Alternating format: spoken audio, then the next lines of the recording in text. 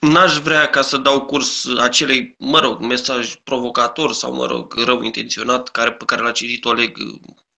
în final acum, dar aș vrea să-l întreb pe el dacă cu adevărat asta crede. Păi eu citindu-l pe creangă am învățat ce înseamnă și aia barabulă, și ce înseamnă și cucuruz, și ce înseamnă și păpușoi și ce înseamnă și multe uh, lucruri. Adică ne oprim la comentariile pe care le fac, știu eu, persoanele pe YouTube sau vorbim despre altceva când e vorba de limbă și asta știe respectivul individ sau mă rog, nu-l întreb pe el că n-are cum să răspundă, dar te întreb pe tine, Oleg, ce înseamnă dialect, ce înseamnă grai, ce înseamnă regionalism sau vorbim ca să ne aflăm în treabă?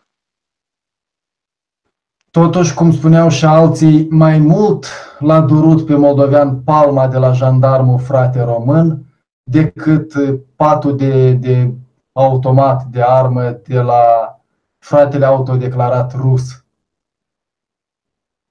Deci disprețul ăsta de la frații români, limba cărora o vorbim și ei ne înțeleg ce vorbim și totuși ne reproșează, duceți-vă Rusia, rușilor, vorbiți românește, de parcă am vorbit ungurește sau nemțește sau turcește.